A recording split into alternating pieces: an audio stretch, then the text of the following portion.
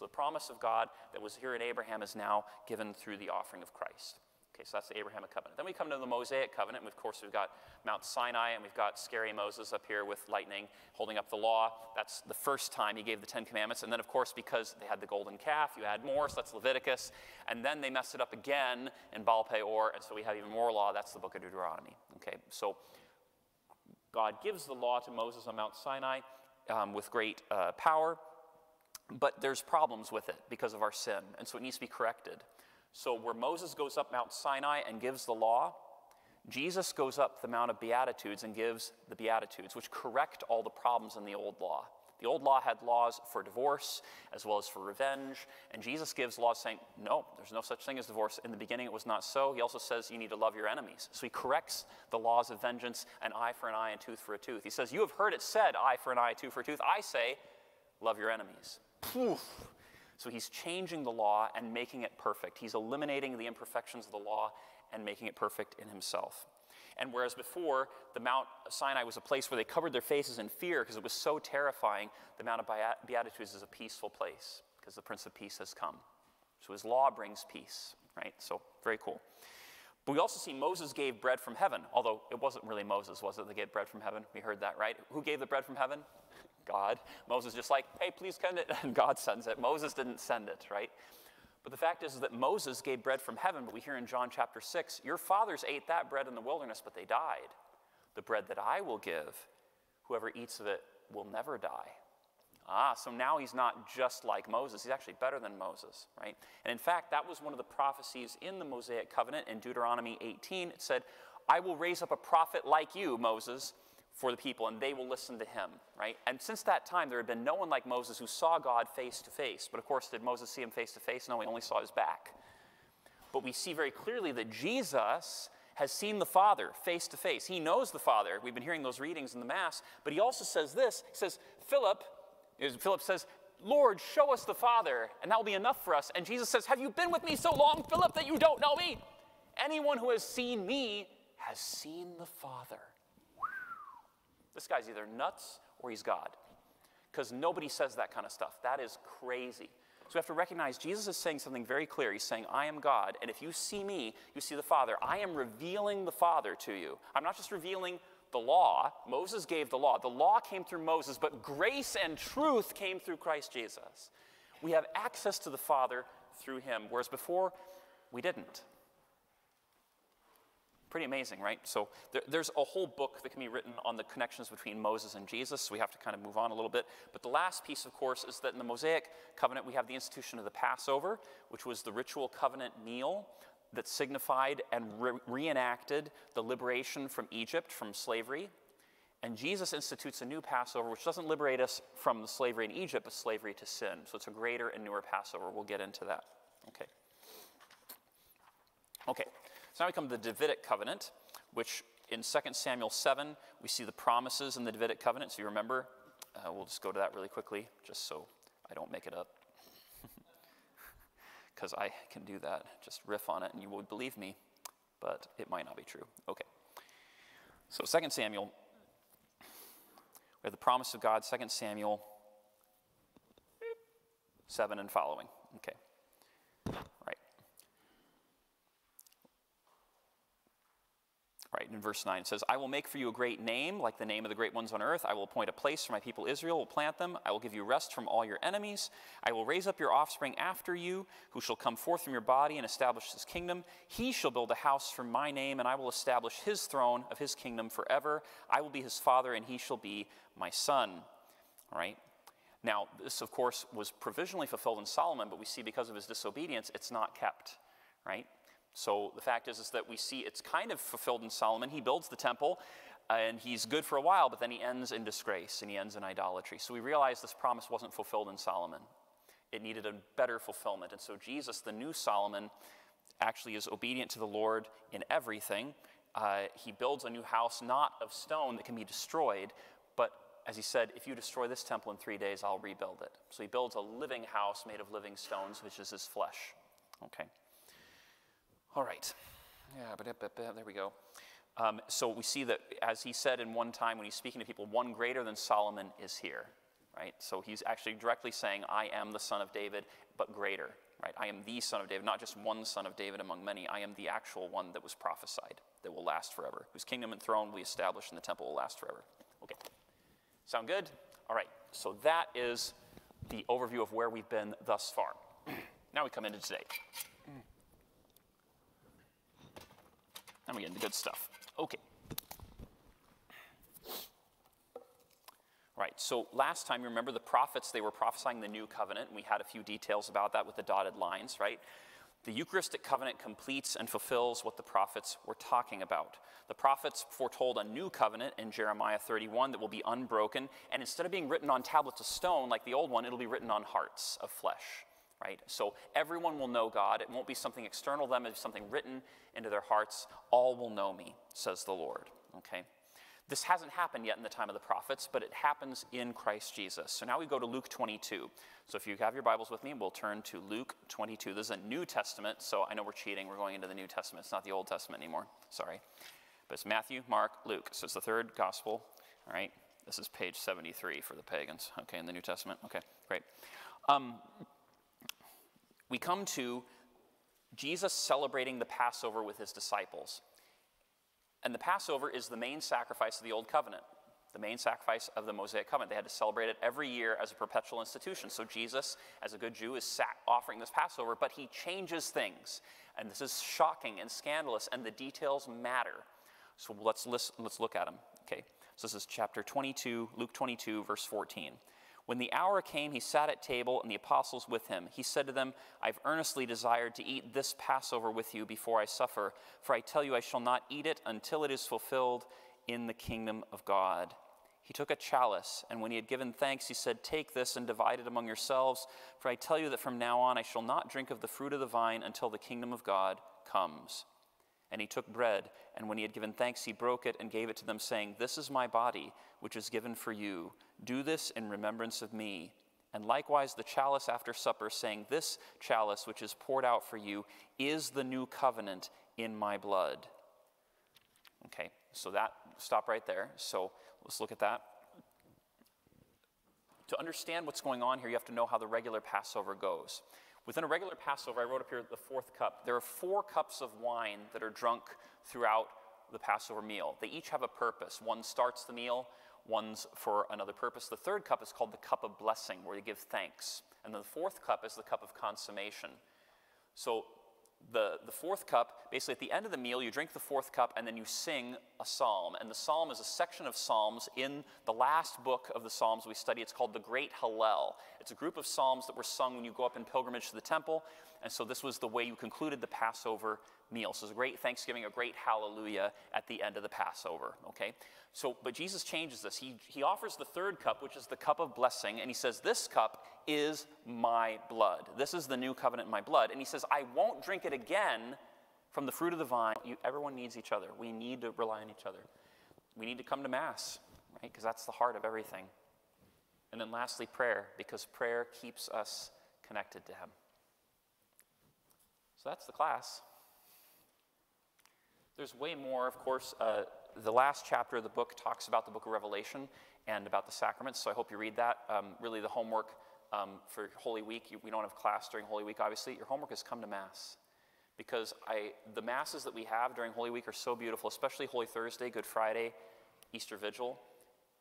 You're going to experience everything we've done this whole year in a few days. It's compressed and it's beautiful, and I hope you get to come and I hope you get to celebrate the sacraments with our candidates and catechumens that are going to be received into the church. It's going to be a really beautiful time, especially the Easter Vigil. So, uh, brothers and sisters, um, uh, maybe we'll just, because we got done just slightly early, um, I'm going to stop right here and we can do big group questions for a couple of minutes before we split off into RCIA. So if there are any questions about tonight or about any of the classes of this last year, you can raise your hand and somebody can bring a microphone out to you.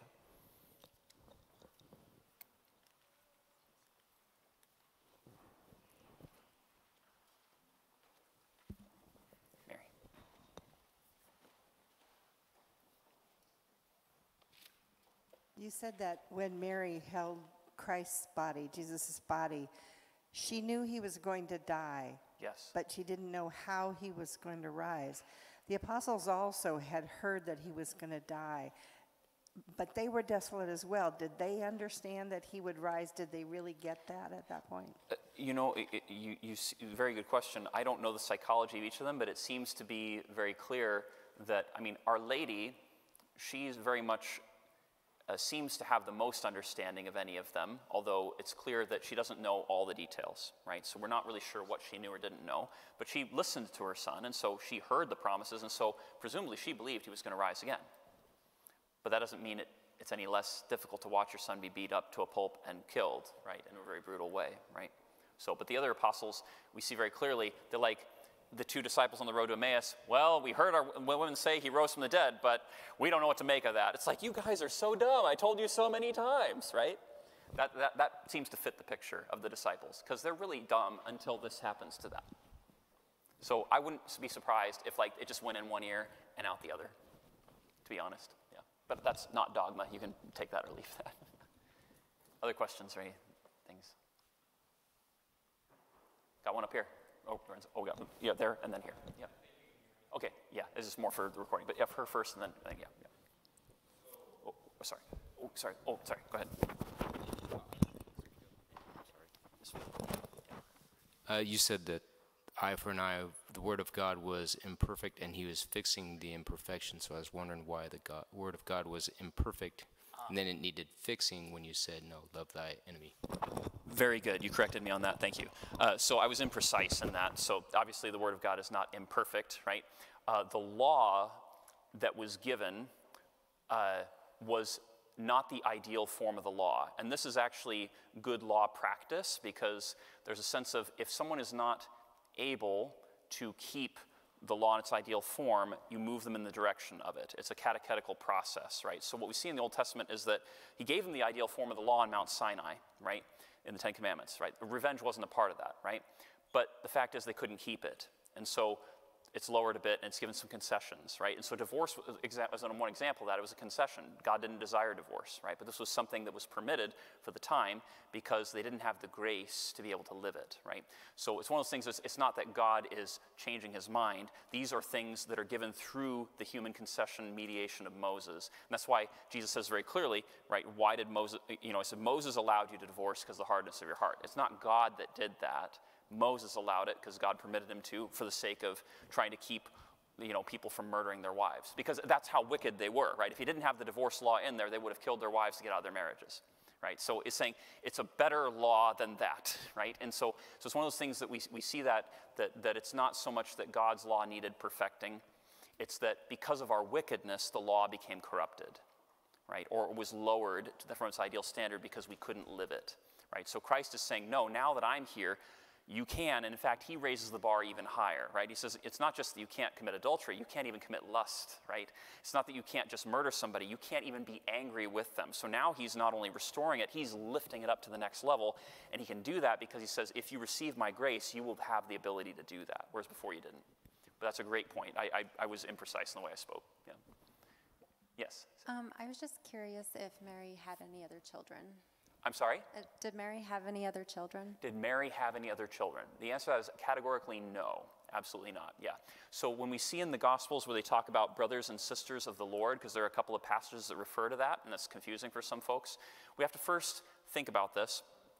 Um, Mary, uh, she's a virgin when she meets Joseph, and we see very clearly that she is the mother of the Son of God. After that experience, do you think she'd have any desire for normal children? I have never had the experience of having God live inside of me for nine months, but I'm sure that radically changed her, right? And so the fact was is that she had no intention of having children anyway. She only accepted a child because God told her to, right? So the fact is is that Joseph knew about her promise of virginity and he was respecting that from the very beginning. So the fact is, is that no, she, she never had any other children. Now the question is whether Joseph had other children. We have different traditions within the church, and so you are free to believe what you wish. The Western half of the church believes that Joseph was also a virgin and did not have other children. Okay. The East believed that he had children by a prior marriage and was a widower. Okay, so they are both traditions, they are ancient. I think they're wrong, but it is an ancient tradition, and so we have to respect it. We can't just simply wipe it away because the Orthodox do believe that Joseph had other children, right? The Latin Rite tradition is that brothers and sisters of the Lord um, adelphoi in the Greek, right, is very broad. It's not just blood brothers and sisters, but we see very clearly it's also cousins or uncles, right? Because there's not so much of a distinction that happens there. So, so that's the way the West is interpreted. These are the cousins of the Lord. We see very clearly because James is the brother of the Lord, and we know clearly that he is a cousin. He is the son of Alphaeus, who is the cousin of Mary. So we see very clearly, or the, the brother, you know, uh, so, uh, uh, yeah, I forget exactly off the top of my head, you're catching me, but essentially, yes. So James, we know he is the son of, of Alphaeus, who is uh, brother, sister with, with Mary. Okay, does that make sense? So, so we, we know already one of those examples where it's called the brother of the Lord, but it's actually a cousin. So the West has just always said, the Latin Rite Church has always said the rest of them are just cousins. The Chosen gets this I think, wrong, by the way, you know, just to let you know. So if you're like, the Chosen, the Chosen's pretty good in a lot of ways, but they kind of leave it ambiguous. So just so you're, if you're watching, like, they're kind of like, mm, I don't know. But, but we know, okay. so little, little James, little James is actually the cousin of the Lord, right? So they get that wrong, but there you go. Anyway, they're trying to do things for dramatic effect. They can't get everything right, and they're Protestants. So there you go, okay. But, you go. No judgment here. Anyway, so. It's just, it's just the, they're trying to leave it as open as they possibly can for a lot of people to enjoy the show. And so they, they leave certain interpretations open, which I'm glad they haven't like rock solid, like, you know, fallen there. But just be aware of that, that, that it is not the Bible. It is a dramatic interpretation. They get several things very right. I, I very much, I love the relationships they have with people um, between the disciples, but the timeline's off and there's other problems with it. So just take it with a grain of salt and enjoy the show. Anyway, sorry. Tangent. Sorry, squirrel. Back. Okay. So. All right. Uh, we're, we're, we're at time for the RCIA. Folks, I know they have things that they would like to do, unless they want to stay here and want to change the plans. But anyway, so we'll, we'll dismiss uh, RCIA folks. Um, you can go uh, with, with um, formators. Um, if others want to do uh, small groups, they can, or they can stay in here for a big group uh, conversation to continue for a little bit, and then we'll do some prayer together. So whatever you'd like uh, to do. We'll, we'll start again in like a minute, give them time to go.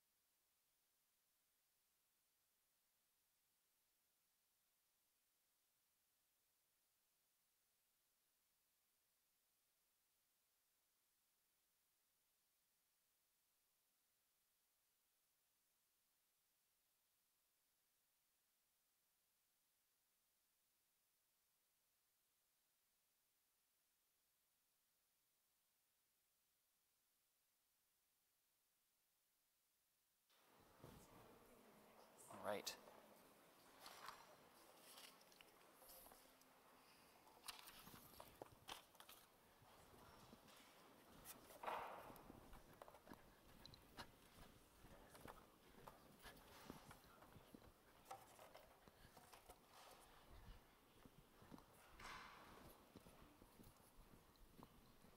Okay.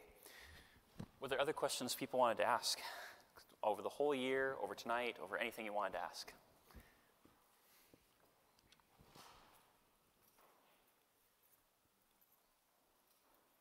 Yeah.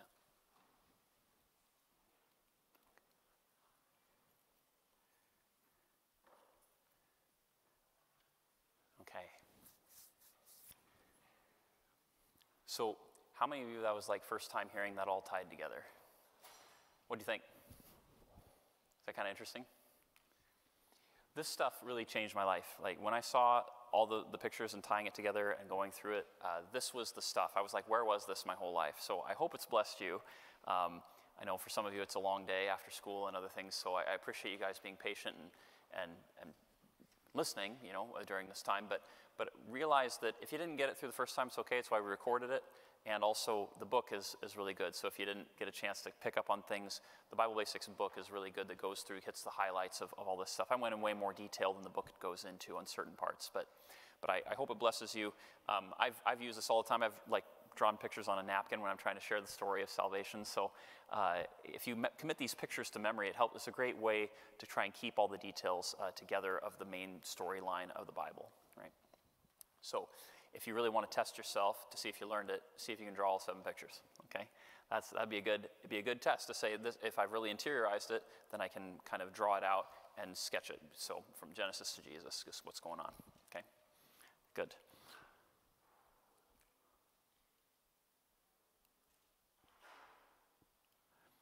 A couple of announcements, um, and that is, is that uh, this is our, our last uh, class before, before Easter. After, after Easter, we've got a Night of Hope and Healing, so that'll be the week after Easter. And then we're going to have our Easter potluck. So that'll be kind of our way to celebrate uh, the class and just what we've done. And then we're going to start kind of a new topic series after, after that. So, so this, this part of it is concluded, right? But, but we're going we're gonna be doing other topics to kind of get ready for the sacraments and, uh, and prayer, because really those are, those are topics we all kind of need to grow in, yeah? Okay, so that's, that's kind of what we're going to focus on after Easter. Um,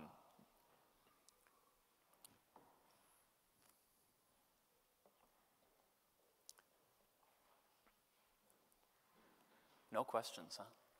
None whatsoever. We got one over here. Okay. Maybe. Lauren's back, back. Come on.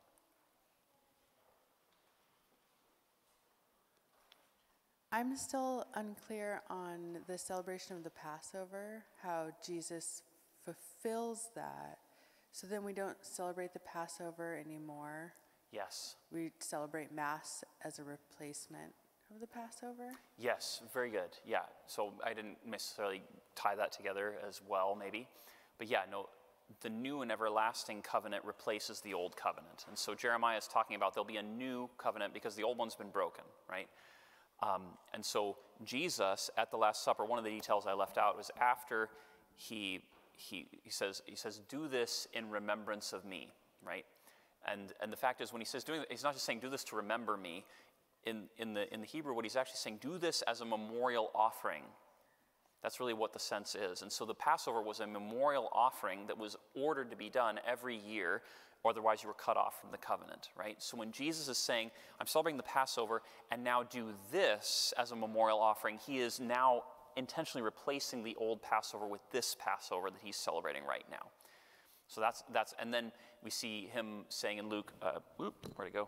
What happened to my Bible? Where'd it go? Oh, there you are. There's no sense in me making it up. I can just read it. Um, I tend to do that. Okay. All right, so this is also in Luke right afterwards. Luke 24, uh, sorry, Luke 22, uh, verse 24. A dispute arose among them, which of them was to be regarded as the greatest, right? So the disciples are always fighting about this. Isn't that fun? It's like, they're very human, right? So, and he said to them, The kings of the Gentiles exercise lordship over them. Those in authority over them are called benefactors, but not so with you. Rather, let the greatest among you become the youngest, the leader as one who serves. You are those who have continued with me in my trials. As my Father appointed a kingdom for me, so do I appoint for you, that you may eat and drink at my table in my kingdom and sit on thrones judging the 12 tribes of Israel. So that what he's doing right there is he says in literally in the Greek, as my father covenanted a kingdom to me, so I covenant a kingdom to you, that you may eat and drink at my table and sit on thrones. Remember when King David had welcomed people to his, to his house from the, from the house of David, Mephibosheth, remember him? He had the lame feet, right? And he said, You will always have a place at my table, right? So that was a sign that you were part of his family, right? So what Jesus is saying here, he's the new son of David. He's saying, I covenant the kingship to you, and you can now eat at my table, right? So the Mass is, in fact, that place where we have communion with the new son of David. No longer with the old Passover, which is now past, but now the new Passover, as we see this very clearly in Paul's letters, he says, Our Passover has been sacrificed, right? Christ is the new Passover. So he's very clearly saying the old one has gone away. The old one was a shadow, preparing us for the real one that is Christ. The Passover lamb was a symbol. A lamb can't save us. Like, that was the thing. It's like they're looking at this and they're like, how is it that a lamb's body can save us? How can a lamb's blood save us unless it's pointing to the future to something else? And that something else is someone else. It's Jesus, who is the true Passover lamb. So why would you celebrate the shadow when you have the real thing? That's, that's, the, that's, that's the short answer. There's, there's like books on that. So that's not like a, a short question. Yeah. Good. Great. Oh, got, got one back there. Yes.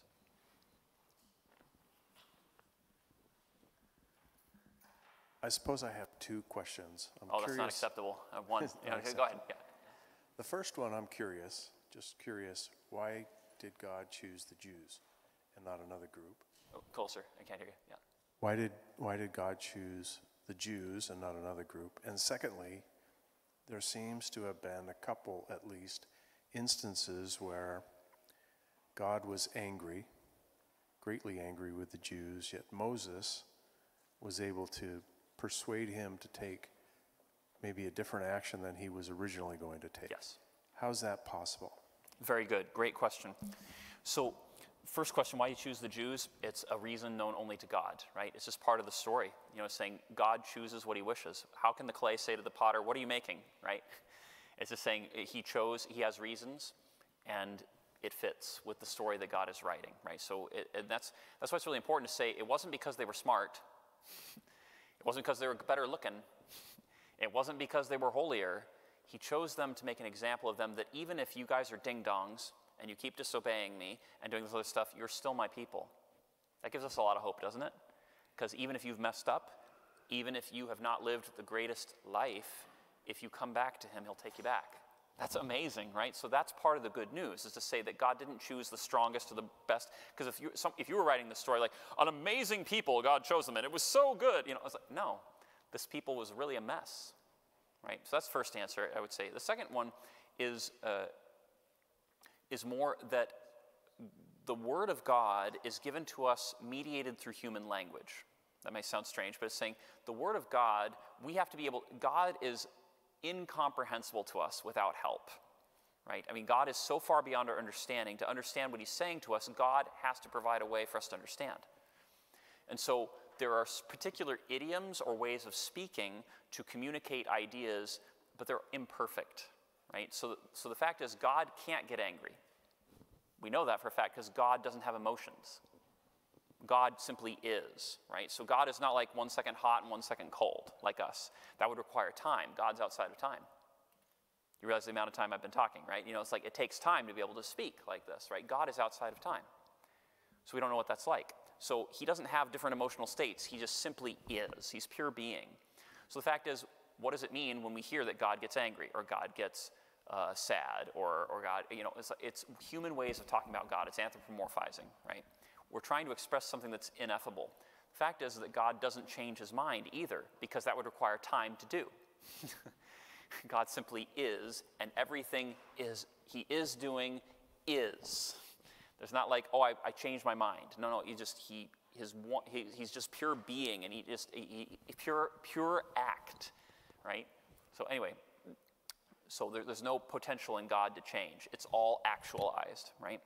So so the fact of the matter is is that what is God doing? He's teaching us something, right? On those examples you mentioned with Moses, he's teaching Moses something, right? He's trying to see if Moses has got the idea, because everybody else doesn't got the idea right? Everyone else has abandoned the covenant. Everybody else is disobedient. And he says, Hey, Moses, look at these people. They've abandoned the covenant. Like, they can't get it right. I'm going to swipe them all out and start over with you. If Moses would be like, Sounds good to me, God, eh, you fail. right? Because Moses, he's trying to test his memory. The other people have terrible memories, right? They can't even remember like 40 days ago. Like, God appeared on the mountain, and now Moses went up the mountain. 40 days later, they're offering a golden calf. Like, you're like, guys, you can't even last 40 days? What's wrong with you, right?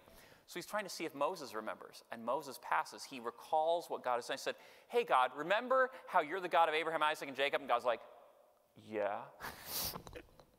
you, you remember how you promised that you would, you know, take it? Yeah, I did say that. You know, God knows all this stuff. It's not news to him, right?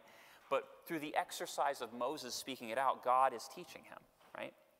So, so it's one of those divine pedagogy. It's not that God changes his mind, it's that through this exercise, Moses is stepping into his role as an intercessor. He's showing himself to be a faithful and merciful high priest in imitation of Christ. He's a type of Christ who intercedes on behalf of a sinful people who don't deserve mercy, and he begs mercy from the Father. So he becomes in that moment a reflection and an image of Jesus. All of these things in the Old Testament, when they don't make sense, we have to first ask the question what is it actually saying? I could misunderstand what it's saying. Secondly, I have to see it in light of all of the Bible. I can't just read it in isolation. I have to see what, what does it mean in the con- canonical context. That's how we've been reading things. You notice how I'll jump around from book to book to book to kind of illustrate a point? That's a Catholic way of reading the Bible. Fundamentalists will look at one book, one verse, they'll pick it apart, and they'll be like, Ding. the problem is when you focus on one verse isolated from all the other books of the Bible, you'll get some weird ideas. So if you focus on that, yeah, you get the weird idea that, well, God gets angry, or God's capricious, or God likes the death of the innocent. And it's like, no, there are literally hundreds of other verses that say he doesn't desire the death of the wicked. So what is he doing right here? It must be something different, right? So we have to be careful when we're interpreting the Bible. If we just look at one passage, we've got to really say, wait a second, how does that fit with the whole context of what's going on here? Great question, though, I mean, because a lot of atheists will use that. A lot of other folks who don't believe in God, they'll be like, hey, it seems like this God of the Old Testament is different than the New Testament one. I'll be like, yeah, God of the Old Testament is way more merciful than Jesus. And they're like, what? yeah, think about it. All the readings we've been having here saying, look, the Father doesn't judge anyone, He's given all judgment to the Son. Whew.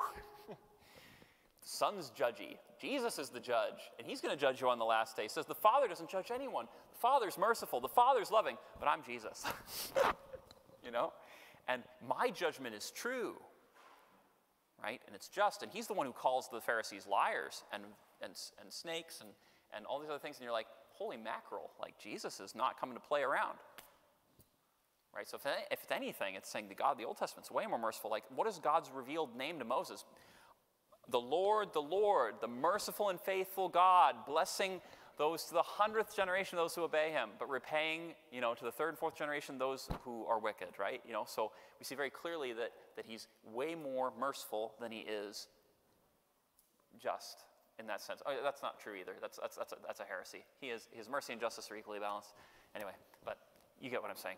Okay, there's a lot more emphasis actually on the mercy of God than there is in his divine justice. Because if he were really like the judgy, just God that we think, he would have wiped out the Jews a long time ago in the Old Testament, right? He had plenty of opportunity to do so in the desert several different times, and he said, Nope, I'm not going to do it because he's merciful.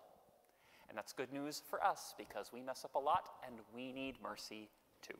Amen? Good. Okay, yes. Other questions? Yes, got one over here.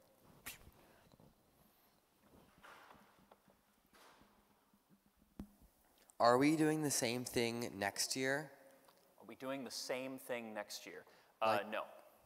Yes. I mean, like the same Bible Basics book.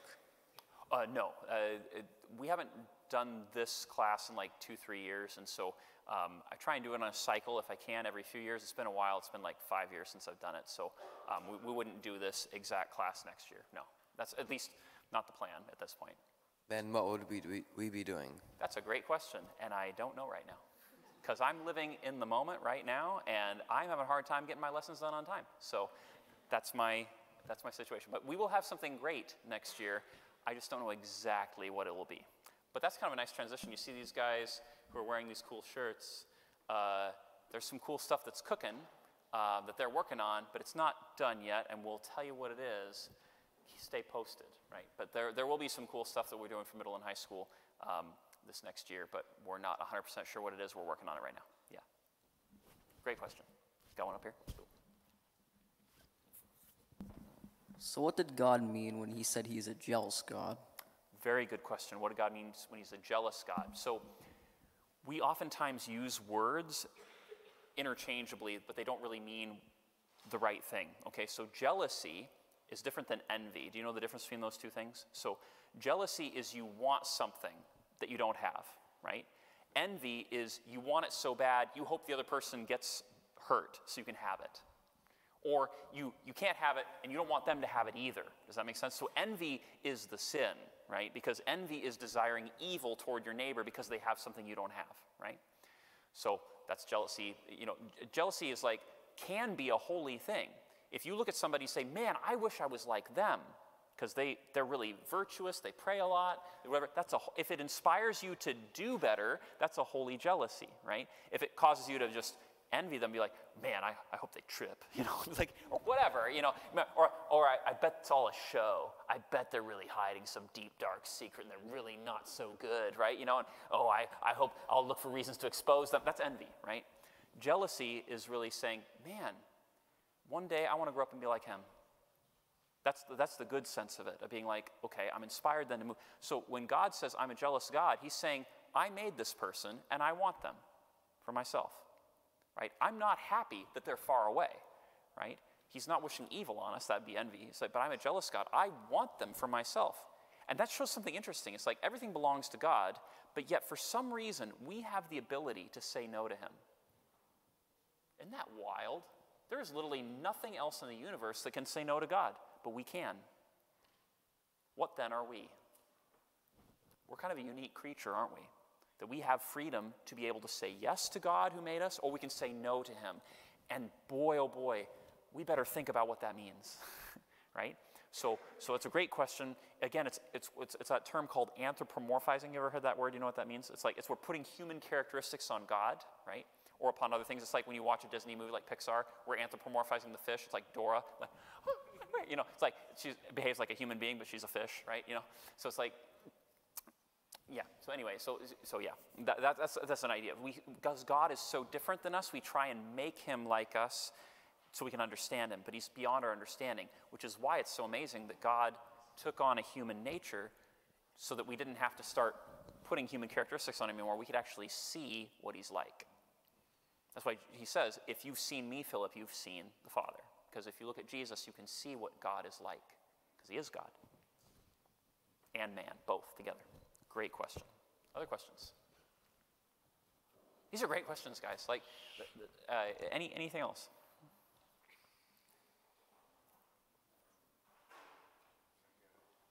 Cool, got one over there. Yeah.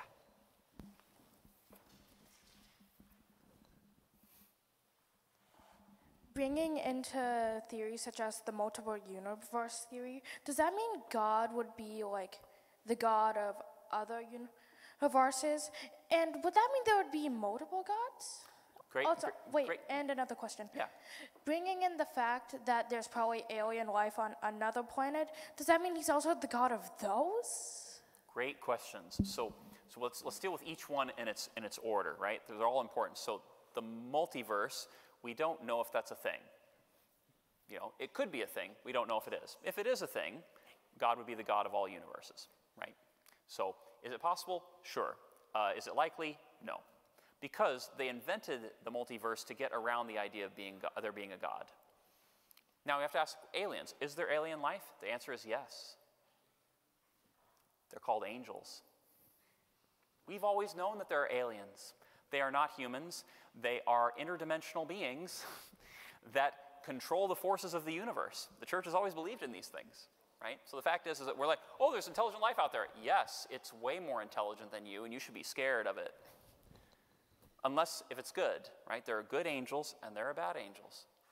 And in fact, you have a guardian angel, you have an alien watching over you. Right? You have a guardian angel who is great power and intellect protecting you because the invisible world is far bigger than the visible world. That's true. Now, the thing is, is that a lot of a lot of the hypotheses about different universes and other things have been come up with because people don't like the conclusions of the Big Bang, because the Big Bang actually showed there's a beginning to the universe. And if there's a beginning, it means that before the beginning, someone had to start it. And that means there's a God. And they don't like that idea, so they come up with, well, maybe there's many other universes and many other, you know, and so they're trying to get away from the problem, but it doesn't solve the problem. You still have to get the idea of when did that start? Well, it just, it never, it always, it always, other things are exploding and imploding and, and vibrating, and, you, and it keeps, you're not answering the question, right? So we have to really challenge some of these things and say, yeah, it could be true. Mathematically, it's interesting. Um, if it's true, we'll figure it out of how to reason it, right? Because when we've made new, dis- new discoveries, we figure out how to integrate the gospel into them. But the fact is, is that I'm not holding my breath because I don't think it, it'll happen. Now, I could be wrong in that because it's not a point of revealed faith. I don't know the answer to that. But I do know this that the Lord, Jesus, is the Lord of all, right? Of all possible universes and of all possible worlds. And his sacrifice is all sufficient because God is infinite and he's offered something that's infinite. And so it has infinite satisfaction. So if there are other aliens and they have souls and whatever, okay, fine. They're redeemed by Christ too. There you go. Not difficult, right? However, I, I think most of the time when people came up with aliens or other universes or other things, it's because they rejected the teaching on angels and they rejected the teaching on the Creator, right? So they try and come up with other ideas, right? So just be, be aware of that. So just take things with a grain of salt that people aren't so sure of certain things as they think they are. But yeah, we do believe in aliens, and they're called angels. Yeah. And it's, there's way more kinds of angels than there are things in the visible universe, because every single angel is its own species and its own genus, because it doesn't have a body. Isn't that amazing? So if you think there are billions and billions and billions and trillions of angels, every single one is a completely unique species. Yeah.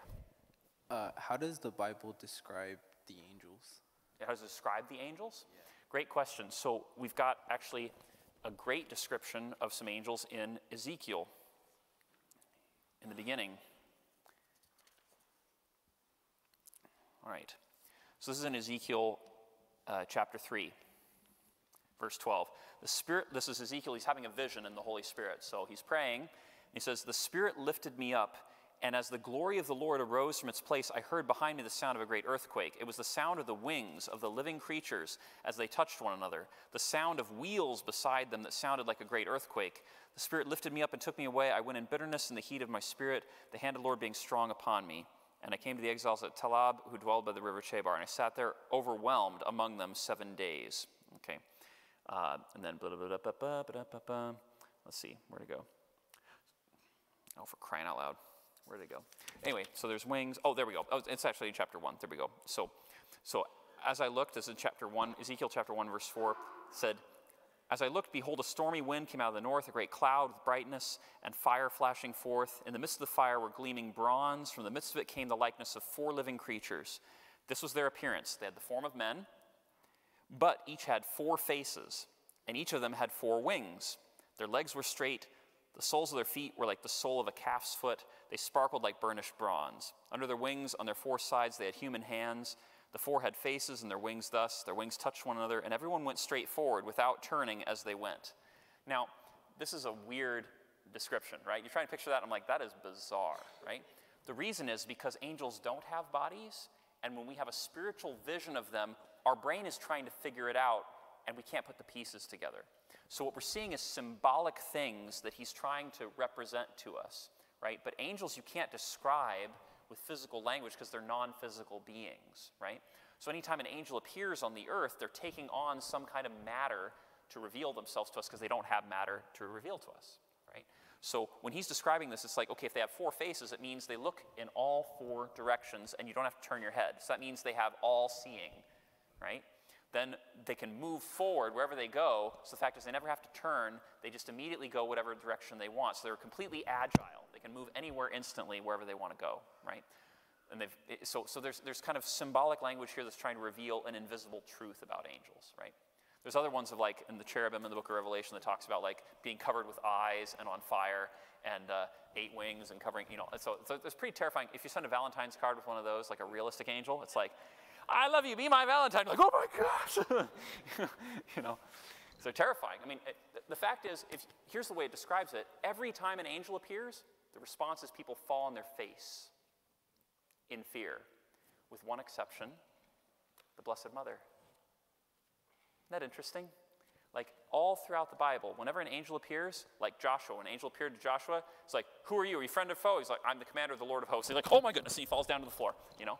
Ezekiel, all these other people, they fall flat on their face. Daniel falls on his face. Everyone falls on their face. Jeremiah falls on their face. Everyone falls down in fear just in front of an angel. But the Blessed Mother doesn't. Because she's without sin, she doesn't have any fear. Isn't that interesting? Being sinless makes you fearless. Whoo. Man, I want some of that, right? That's great. Did you have other, other follow up to that, or was that kind of just, yeah, cool. Great, great question. Angels are cool. Like, there's a whole field of study on angels, and it's I, I haven't spent much time on it, but but boy, it's really fascinating because yeah, they don't have bodies. So every single angel is its own genus. Its own, you know, so because because you, you you determine differences within the genus by bodily difference, and there are no bodily differences. So the complexity of the spiritual world is so vast you can't even possibly understand it.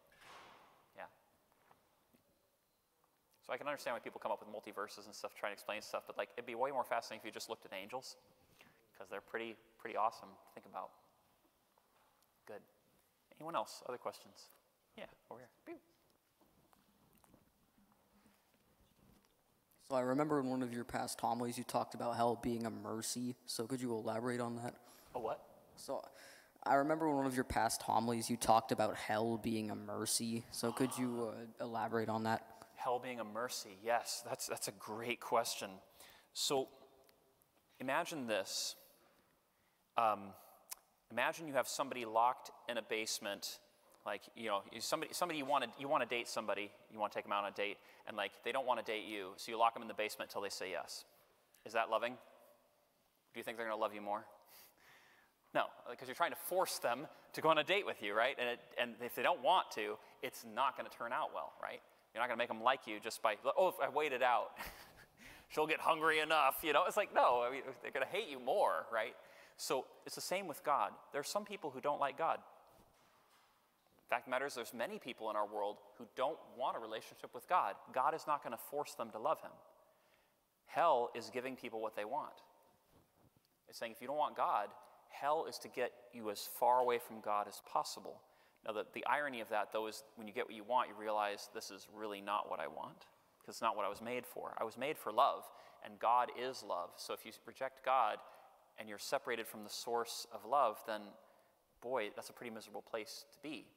But because we have free will, if somebody has chosen and said, I hate God, I don't want him, then God is not going to force us to accept something we don't want. So hell, in that sense, is a mercy because um, otherwise, we, if, if there was no hell, people think, oh, how can there be a loving God if there's hell? The fact is, if there's no hell, it would mean God is a monster and he's forcing everyone to love him. Right? I mean, the fact is, if you force someone to love you, that is slavery, it's not freedom. So you have to have the possibility of rejecting God, although it's a terrifying possibility. But yet many people do. that maybe they're not explicitly saying, "Oh, yeah, I love God, but I want to do whatever I want." You see, it's the same deal, right? I either give myself to God or I give myself to my pleasures, right? So the devil is one who just says, "I will not serve God." That's the demonic. It says, "I won't serve God. I will serve myself." Right? And there's a lot of people in the world who do that. And so if they don't want to serve God and they've trained their whole life of serving themselves instead of God, when they get to heaven, they're really going to hate it because that requires that you're fully given over to God and they've trained their whole lives to be contrary to Him. So God gives us what we want, and what we end up doing through our life matters. What you do in your body matters because it forms your habits, your behaviors, your thoughts, and everything. Great question. That's another book, too. Hell being a mercy. Yeah. Yeah. We, boom, boom. Yeah. Brian then Aries. So to follow up on that, are we still praying for those souls that are even in hell, that are worthy of our prayers? Mm. And taking that one step further, would that be we're still praying for even Judas to be?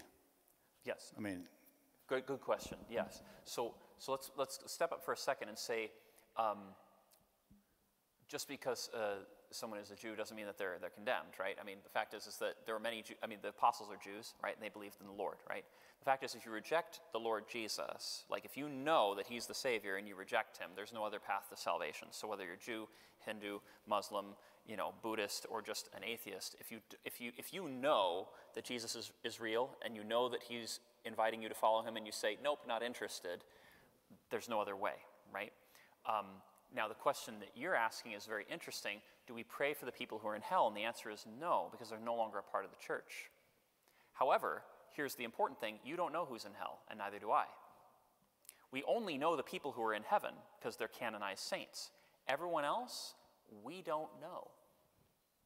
With one exception, and that would be uh, Judas, because it's very clear that the scriptural fulfillment of prophecy is that Judas fell away and his spot is vacated, right? So the fact is, people saying Judas could be saved, the reality is no. Uh, the church has taught pretty clearly that Judas is the one that we kind of know pretty clearly um, is not. But the fact is, is that um, really anybody else, we don't know what happens between the moment somebody dies and uh, and their soul leaves their body, how much time there is still to think, how much time there still is to make choices. But the fact is, once you've separated from your body, there's no more time. Once your soul is separated from your body, you cannot make any more choices because you need a body to make choices. You're outside of time. So, so the fact is, is that we, we, we don't pray for those who are in hell, but the fact is we don't know clearly who is in hell and who isn't. And so we can always err on the side of mercy to pray for the dead, right?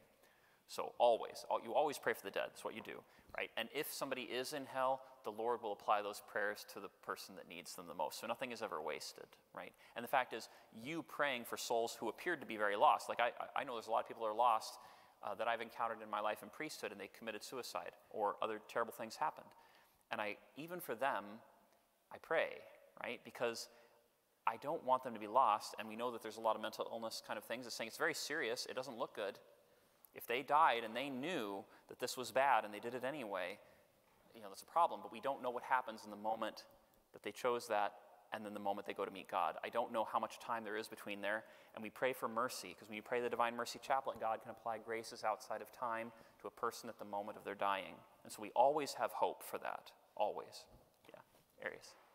Um, so you said Mary was like couldn't can't be afraid. Was she afraid though of uh, Jesus dying? Hmm, that's a great question. So fear, right, is an, is an emotion, right? And what's interesting is that before, if you remember in the garden, Adam and Eve, right, they had no sin, right? So there are consequences to that. We actually believe that their intellect and their feelings were united. So if they didn't want to feel sad, they wouldn't. Kind of interesting. Our, our emotions right now, they're disconnected from our mind. And so sometimes you want things physically that your mind doesn't want, right? You're like, I gotta have that chocolate cake. No, I don't. Oh, I'm gonna do it, you know. Or, oh, or you know, it, you have desires for things that your mind doesn't want because you know they're bad for you, but you do them anyway, right? You ever had that experience before, right? That didn't happen in the garden because there was no sin. So their mind and their emotions were completely in line. So that means you didn't get sad if you didn't want to, you didn't get angry if you didn't want to, afraid, anything. Because those are reactions to things. And if you have a perfectly integrated will, you choose what you react to. Isn't that interesting? So, what happens with both Jesus and Mary, because they are without sin, is they don't get sad lest they want to. They don't get mad lest they want to. This changes things because when Jesus gets angry, it's because he wants to. He's not manipulated by his emotions. So whenever he gets angry, you better pay attention of what making him mad because he's choosing to show something. Or when he gets sad, he weeps at the death of his friend Lazarus. He doesn't have to cry, but he does, right? Same thing with Our Lady. Like, she weeps in compassion for her son. She weeps in compassion for us. She doesn't weep because she's somehow lacking something in herself that needs to be filled. She's weeping as an act of charity for others. And that's really fascinating. So, does she get afraid? No, unless she wants to. So does she want to? I, I don't know. I'd, I'd have to ask her. but, but the fact is, she wouldn't get afraid of things unless she desired to, right? So she obviously has fear of God, but that's a holy fear, right? Just recognizing He made me and, and I want to love Him and serve Him. I don't want to displease Him in anything, right? Yeah. Great question. Cool. Any others? Okay. Good. Yeah, no more? You guys had great questions tonight. Thanks for that. It's really good. Was that good? Yeah. You know, uh, questions are good. Here's what I want to really just hammer home. Sometimes people think questions are a lack of faith. They're not. I love questions. Questions are what made me a priest because I found that the Catholic Church had really good answers to things. So if you have questions, ask them. Yeah, please. Yeah.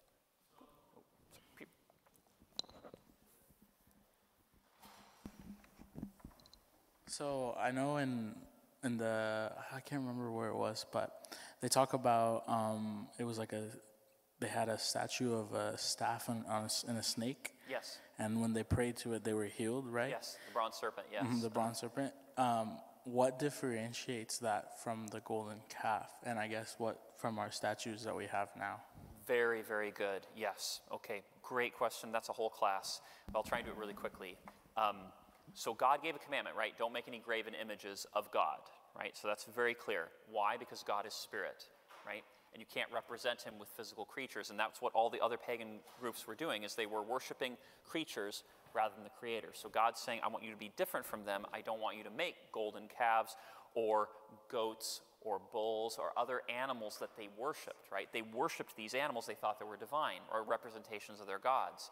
So that's why God has them sacrifice bulls and goats and sheep because the Egyptians worshiped those things. So he's saying, These are not gods. You can kill them and you can eat them. So he's having them do that over and over and over again to teach them, These are not your gods. I'm your God. This is not your God, right? So a golden calf is a problem because that's a representation of the God, right? Now, the serpent is interesting because this didn't make sense to the Jewish people either, right? Because they're like, okay, is this an image of God? No, it's an image of the thing that was killing them. And this is fascinating. It's saying, in a sense, it's making a mockery of the thing that poisoned them, the, the poisonous serpents that were going through the camp and biting them, and they were dying of the poison. And so he said, make a bronze image of this serpent and put it on a pole as an act of faith in God, right? Because there's no reason looking at a bronze serpent, looking at the sign of death would bring you healing. And the Jews are like, okay, what does that mean? How does that relate to the graven images thing? Because it seems contradictory. But it's not, if you think about it, because it's pointing forward to something different, where Jesus, I become a worm. I'm a worm and no man, right? He takes on, as it were, sin, the image of sin, nailed to a tree, and those who look at him who look at the price of sin are healed if they look at him with faith, right? You see? So, very clear that image of the serpent being lifted up, we just had this reading two days ago, right? That's, that's why Jesus said, just as the serpent was lifted in the desert, when the, you will know that I am when you lift up the Son of Man, right? So, so very clearly, that image of the bronze serpent doesn't make sense unless if you look at Jesus, right? So, so it's something in the Old Testament, you try and interpret it, it's like you get weird answers because it doesn't make sense until the light of truth comes. Yeah, but it's a type, it's a shadow, it's something you're like, that's weird, that's bizarre. And that's important. When we come to things that are bizarre and weird in the Bible, we're like, that doesn't make sense in its context. St. Augustine and the other church fathers would say it's because it's pointing toward the future, toward Jesus. And it's a secret that's hidden from, that's why, that's why St. Paul says, up to this day, there is a veil that lies over the face of the Jewish people, right? But when the Spirit of the Lord comes, the veil is lifted and they can see what all these scriptures mean. That's why the Lord at the upper room after the resurrection, when he visits them, he then he breathed on them and said, Receive the Holy Spirit. He said, Peace be with you, be not afraid. And then he opened their minds to understand the scriptures. Because before then, it's all in shadow. But now, in light of the resurrection, they can see what all the prophecies were about. The road to Emmaus, right? When they're like, oh, these women, they said that Jesus is risen from the dead. We don't know what to make of it. And he's like, you guys are so slow to believe everything the Lord said. Was it not necessary this would happen? And then he explained all the scriptures to them. So if, if we had to describe what this class is, it's really Emmaus. It's really pointing out how all the old things in the Old Testament point to Jesus. And once you have that vision of it, you understand what the Bible is really about. Because without him, it doesn't make sense. Good. Any other last questions? Yeah. Where's my front class? When we like pray to saints and stuff, are we praying to them, God, or their connection to God? Great question. So, and I, this kind of ties in. I didn't quite get to that part, but it kind of it ties in nicely. So, um, statues, images are focal points for us, right? So it's different from like an idol that like you worship. So this is a helpful point when you're talking to friends and be like, hey, why do you pray to the saints? Or why do you do this other stuff, right? Aren't you supposed to pray just to God? It's because we have a different understanding of what prayer is, okay? For us, worship, like when people say praise and worship, it's actually a, a misnomer, right? For us, worship is the Mass, it's sacrifice offered to God, right? So the only worship that we do is offered to God the Father. You don't offer the Mass to the Blessed Mother. You don't offer the Mass to St. Alice. You don't offer the Mass to any of the other saints. You offer the Mass to the Father. You might do it on, in honor of the saint, but you're always making the prayers in Christ through the Holy Spirit to the Father, right? So the fact is, when you're praying to a saint, that's different. Prayer is talking to someone, it's asking. Prayer is just making a request of someone. The fact is, I can, in Old English, would be like, Lupe, I pray you, would you please go get me a glass of water, right? You know, so it'd be like, I'd ask you to go get something for me, right? So prayer in that sense, you can even ask your brothers and sisters to pray for you, right? That's prayer. Like you're praying to your brother, would you please pray for my healing, right? You can do that. It's not idolatry, right? You're not like, brother, I worship you, I adore you. It's like, no, no, like, no. It's a, and the fact is, it's problematic because in some old prayer books they have that effusive language because it was the Romantic period of the 18th and 19th centuries, and some of it's really flowery and gross. But anyway, that's another story. But in any case, prayer, right, is um, prayer is simply making a request. It's asking for something, right? And the fact is, is that we believe, as the book of James, letter of James says, the prayer of a righteous person is powerful indeed. Are the saints in heaven? Yes. Are their prayers powerful? Better believe it, because they're closer to Him than I am, right? They've already made it. They're in heaven worshiping God all the time.